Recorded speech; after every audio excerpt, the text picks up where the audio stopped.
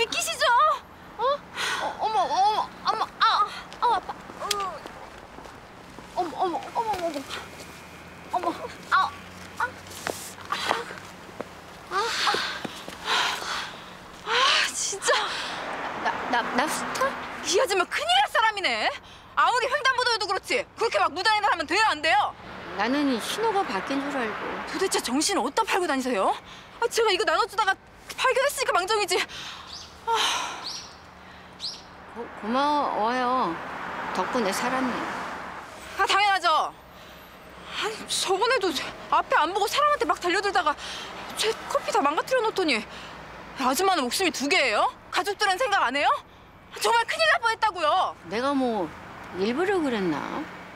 앞으로는 정면을 항상 딱 응시하고 다니세요. 그렇게 넋 놓고 다니시다가 다치시면 어떡해요? 아주머니는 이 무릎만 조심할 게 아니라 정신을 딱 차리고 다니셔야 된다고요. 아시겠어요? 아 그만 좀 하라고. 보자 보자니까 내가 보자기를 뭐야?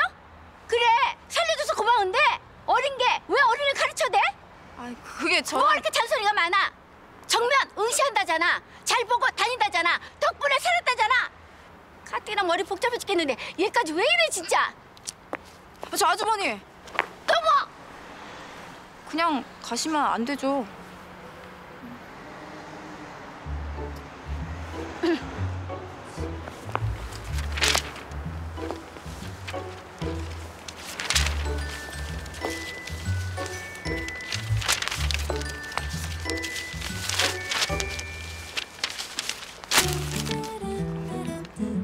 죄송해요.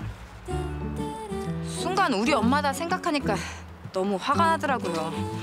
우리 엄마도 종종 그러시거든요.